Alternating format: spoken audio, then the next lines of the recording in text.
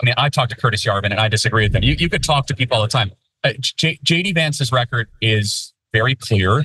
And I, I don't want to like get too down in this rabbit hole, but to be understand what he said about the childless cat women was that he was saying that when you have children, that your society is better governed when your leaders are having children when they're not otherwise when they're not having children. I think you guys could agree with that, right? No, No. I don't. I don't No? think that's Oh, true don't at all. agree with that. I mean, I, what I So, look, so, uh, can I just ask the hypothetical? Hold on. Good. Let me 50 just, childless people and 50 people with families. Mhm. Which group of people would make better decisions for the country the next hundred years? Charlie Kirk hooked up with Ana Kasparian and Cenk Uygur of the Young Turks at the DNC. They did a lengthy debate. The entire thing is 45 minutes.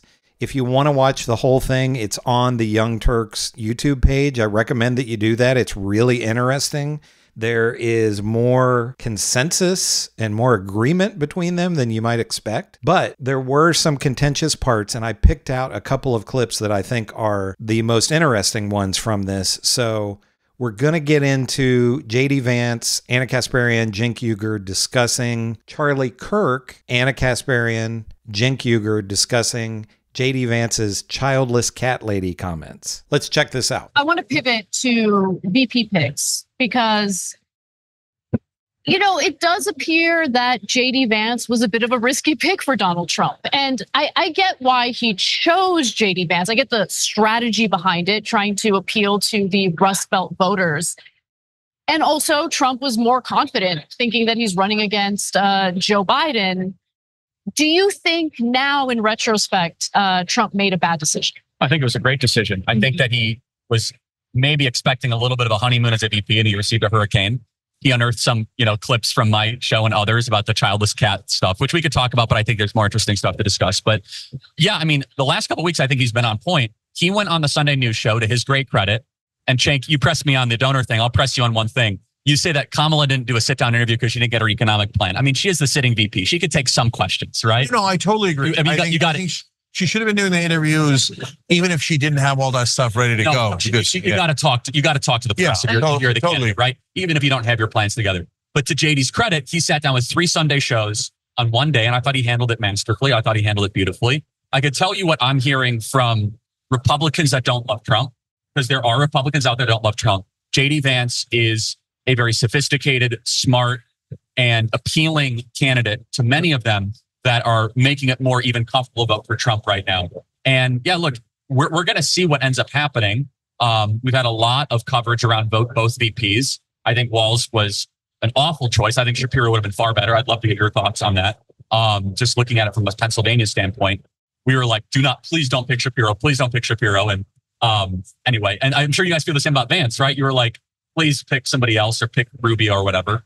Um, I, I thought, But- Vance was an interesting choice. it's a regional pick where definitely in the Rust Belt. Let me also say this: you guys have written books before and published books, I'm sure.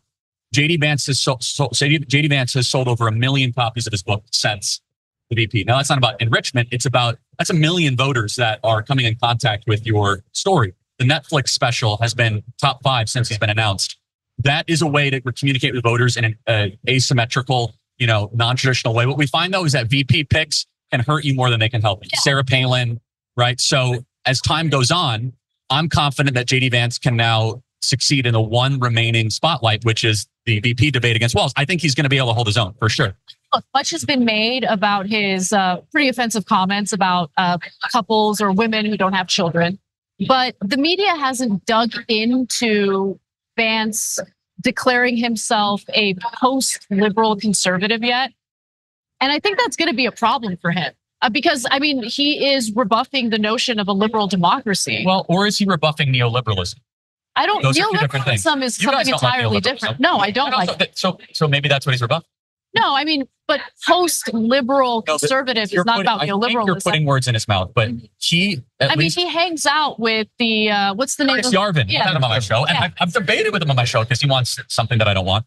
Um, but neo- neoliberalism, as you all know, is unfettered free trade, Right. adventurous foreign wars, and a you know very very aggressive international policy, and also mass immigration. JD Vance definitely disagrees with all three of those things.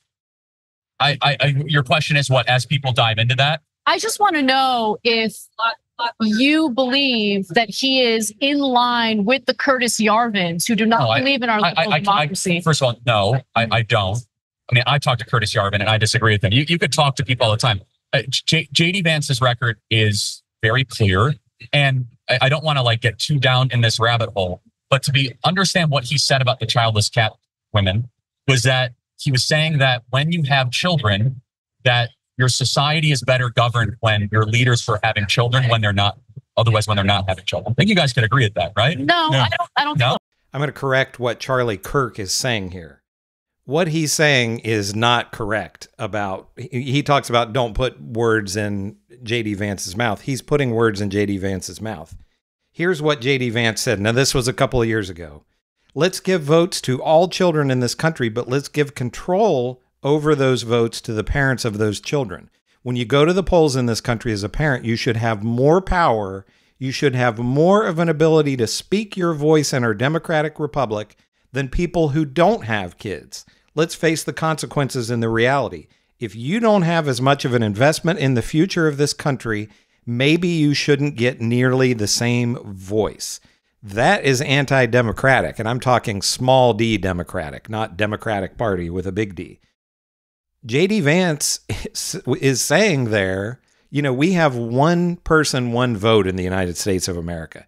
JD Vance is saying that people who don't have children, their vote should count as less, and somebody who has a family and children, their vo- vote should count as more. That's anti-democratic. Jade, what Cenk, what Charlie Kirk is trying to say that JD Vance is saying is not what JD Vance said they can spin this whatever way they want, but it's still wrong. And Charlie Kirk says that JD Vance was a great pick. Well, maybe he believes that, but right now, JD Vance's poll numbers are the worst of any VP candidate in history, they're saying. I think it's funny that all the right wingers say that, oh, it should have been Ben or uh, Josh Shapiro, and they're fine with with Walz but and you know he was a bad pick but he is polling the best he has the highest approval ratings of any of the four candidates donald trump kamala harris jd vance and walz jd vance's numbers are in the toilet No? Oh, you don't at all. do that. I mean, I, what I put, So, so uh, can I just ask the hypothetical? Hold on. You had Let me 50 childless people and 50 people with families. Mhm. Which group of people would make better decisions for the country the next hundred years? I think that it The is smarter ones. it is totally wrong to I love what Jenkins says here. The smarter ones, yeah, you can have a bunch of people who I'm, I know a lot of people who have kids who are total idiots. you know, again, everybody has a right to vote, and it's one person, one vote. But just being somebody who has a family doesn't mean that you know more about the direction of the the country should go or know anything about policy in our country. There are smart single people and dumb single people, and there are smart people with children and dumb people with children. So just having a family doesn't mean you should be in charge of anything. to assume Oh, that You don't you don't think that that the, having No. children makes any No. bearing on your politics? no, No.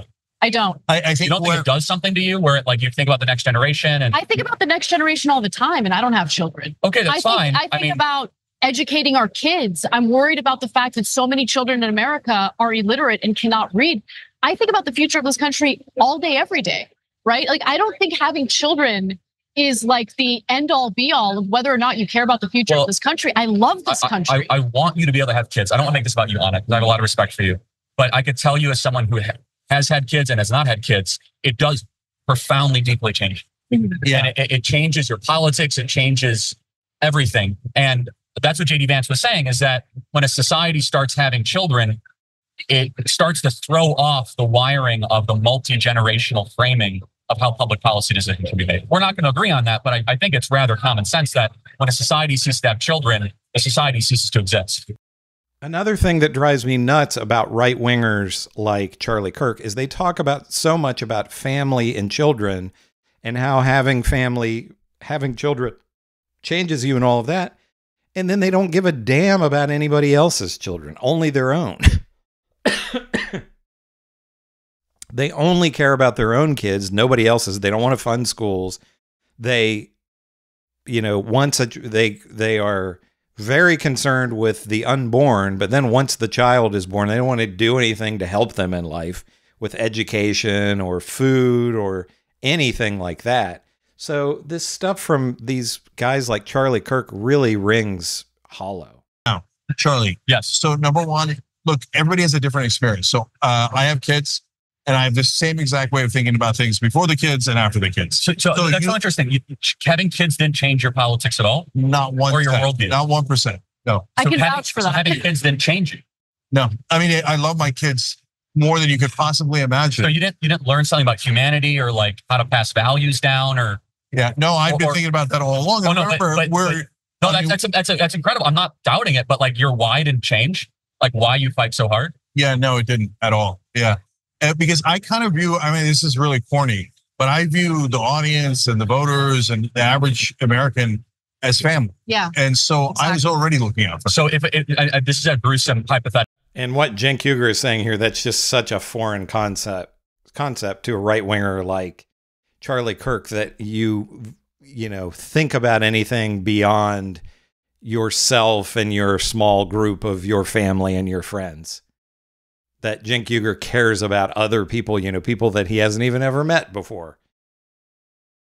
hypothetical, But if a shooter came in, and would you defend your kids first or a stranger's kids, or are they the same? So, I mean, first of all, that's not going to change your opinion on healthcare. It's not going to No, change but your I mean, opinion like on obviously defend your kids first, right. right? But of course, you're going to defend your kids. No, but that's the point. Is that so you have an attachment to your kids, so it has changed you. so of course you have an attachment to your own kids. Of course. Well, that's of the course point. I So attack it's them changed you, first. right? No, no, no. It, it- no, but it, it doesn't change my view on the world, on humanity, on politics, on policy. I mean, that, I guess right. But if you're if somebody if there's a shooting, of course I'm going to cover my kids first. I get it. that's But by the way, like in the understand- Israel scenario, but I wouldn't say, my, hey, my entire bomb other people's kids to No, no, protect nor do I. mine. No, you know, I don't believe that. But Yeah. my politics is all about protecting my kids. So okay, let See, me that's the difference. hold on. And on. actually, But, that but goes you, to the you, you're so about that- protecting. everyone, right? And so, but that goes to the core, Charlie. But and I- that's, that's why this is such an interesting conversation Yeah. between conservatives and progressives, because progressive ideology is help someone you don't know. including non-American citizens. It, so, I mean, generally speaking, I want to help the whole world, but of course, you take care of, you know, you've got these certain Yeah, non-American citizens are human beings. They this is the thing where also right-wingers like Charlie Kirk want to make out like if somebody isn't American, they're an animal or something. It's just a bizarre way of thinking. circles that you know, you got your family, circles. nation, But what etc. When people don't have But my family. point is, you guys circle the wagons, and we think about everybody No, in a, in a way that's everybody, but- empathetic. But this is the problem: is abstractions like that is how we end up invading Iraq and forget that our veterans are starving because we worry more about foreign adventures than so the immediate. And so, But that was that was for the military So industrial when- when- complex and the oil companies. But- that wasn't for us or our kids. look at Lindsey Graham, people like that that have like very weird personal lives. They tend to not care as much about the immediate. They care much more about the foreign and the abstract. But I, I, I just I'm I'm curious though that you don't think that family formation necessarily creates better politics. Charlie, I No, actually not at all. I want to ask Okay, you something. So it's what you believe, right? No, So I, that- sorry, I don't mean to talk. About No, it's okay. Put that aside for a second. What you personally believe, Yeah. put that aside, and think about optics and political strategy. Do you at least concede that politically speaking, when it comes to optics, it is not advantageous to accuse childless people in America of not caring about the future of the country because they don't have kids?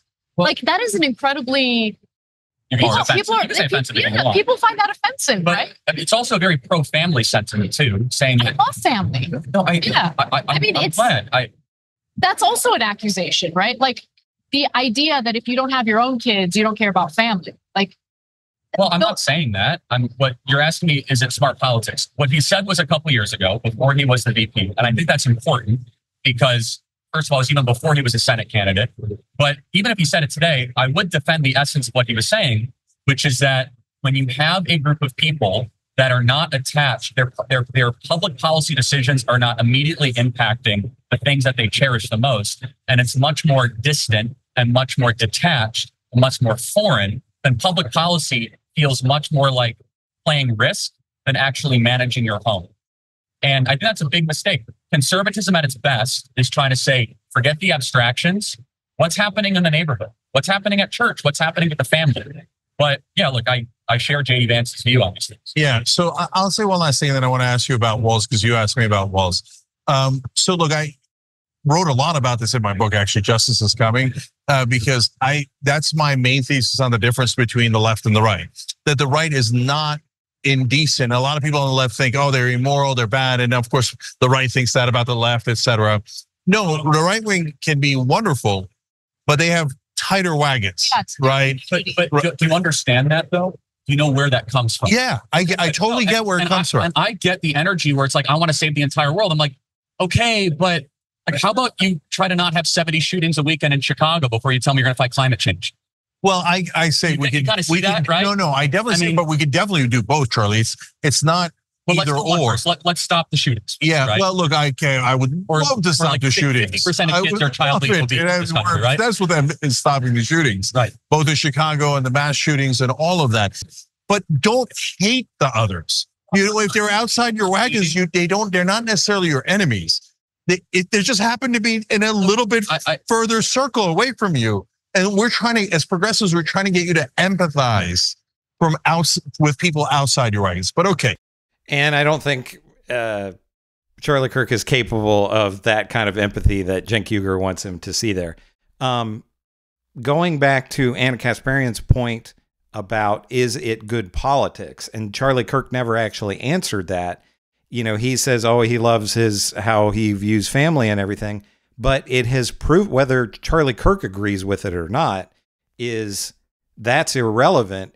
What JD Vance said has proven to be poor politics because he pissed off a ton of people who don't have children, women, men. There are a lot of men who who don't have children, and they're upset about this, and it is not boding well for JD Vance and Donald Trump because most people do not like you know majority of people even if they are uh, you know are people with families and children they look at other people that they know who don't have children who are loving people good people who contribute to society and have every much of a right to vote as anybody else does. Uh, one other thing that i wanted to say way back in the debate here charlie kirk talked about jd vance's book hillbilly elegy. And i think it's really interesting that jd vance had this compelling story. Now it's fake. He's not a hillbilly. He's from a part of ohio that's not appalachia. I live in west virginia. I was born and raised in west virginia in appalachia. I know what appalachia is. Jd vance is not an appalachian. So you want to talk about they talk about stolen valor. Well jd vance has stolen valor in terms of being a fake appalachian but he did have this compelling story in terms of the book that he'd written and you know the media narrative was going to be how JD Vance rose up from poverty and all this which again wasn't really true. But that got squashed immediately with all of the childless cat lady stuff uh, and him attacking single people. So i think it's interesting that you know that just that all went by the wayside immediately. I'm sure the Republicans thought, oh, he's going to be able to, you know, we're going to be able to sell how he rose from, you know, the backwoods to become this really successful guy, and it hasn't happened. But what do you think about this? Who do you think? I thought this was a really interesting debate. As I said, you can go to the Young Turks page and watch the whole thing. I shared a pretty good chunk of it here, but the entire 45 minutes they get into some interesting things. And I, charlie kirk i think is an interesting character. He's not an idiot. Um he you know they have a civil debate and there's some actual good points that he makes even though i personally totally disagree with him. But who do you think won here? Do you think charlie kirk won the debate here? Do you think it was ana kasparian and cenk uygur who came out ahead? Um, let me know in the comments. I'd love to hear what you guys say. Make sure to give me a like and subscribe. This channel is growing fast but more subscriptions, more likes, more comments is going to help me to grow even more. And I want to be able to bring out more content like this on a regular basis. So I hope you enjoyed this. This is Chris on Culture. I will see you in the next video.